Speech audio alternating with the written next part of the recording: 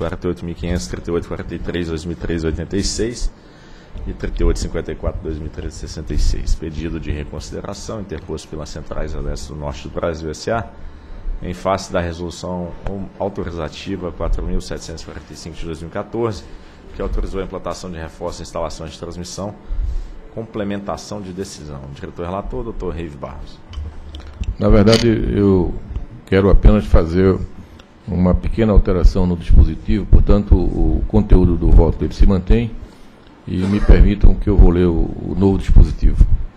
Diante do exposto do que consta nos processos 48.500.003854-2013, dígito 66, e 48.500.003843-2013, dígito 86, voto por alterar a resolução autorizativa número 4.745-2014, no sentido de estabelecer o prazo de, 26, de até 26 meses para a entrada em operação comercial constante do anexo 1, item 1.1, man... mantendo-se inalterado a data de início e o valor estabelecido da receita anual permitida.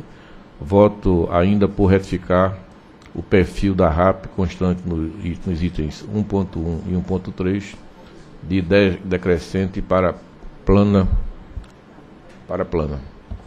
A única mudança é isso, é isso aí. Ok. Em discussão? Em votação. Eu voto com o relator. Também voto com o relator. Então, também voto com o relator. Proclamo que foi, então, é, altera, é, aprovada a alteração da resolução autorizativa 4.745 nos termos do voto do Dr. Reive. Próximo item.